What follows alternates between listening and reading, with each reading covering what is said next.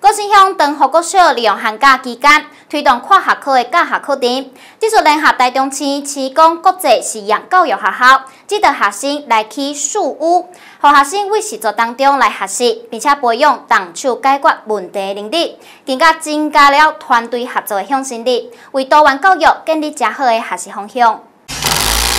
猜下去。在老师的指导下，学生学习如何来起树厝。不过，对着建筑愈起愈悬，部分的学生会出现惊悬的现象，大家心理慢慢适应。盖书我觉得很有趣，我希望在我的书上面可以和朋友做一些事，像是聊天，然后还可以一起玩。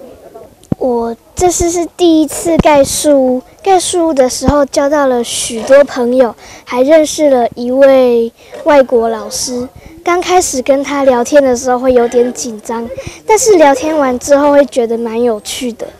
在起树厝的过程当中，上个重要的工作就是苏老师、学生通力合作，确保会当在安全的状态下，和树厝会当慢慢起起来。样水平，水平，这个跟你的那个柱，这个机子要是水平的，你看那歪，然后歪成这样。呃，第一次在学校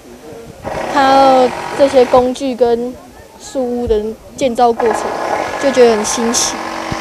还有一些工具的使用方法，都有这都在这个课程里面学到。树屋的过程都是让小朋友自己设计，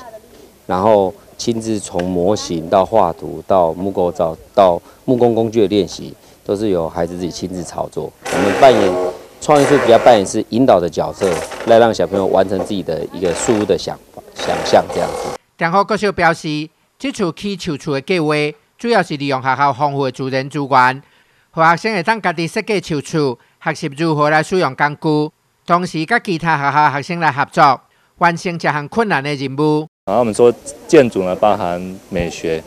数学、工程，还有结构等等等等等，它也是一个各种学科跨领域的综合。那这次有这个机会，利用寒假办理营队活动啊，也邀请星光教育。实验学校一起来参加，啊，希望在两校合作的基础下，那教导学生能够生活，呃，能够运用手边的素材，能够达成自己的梦想。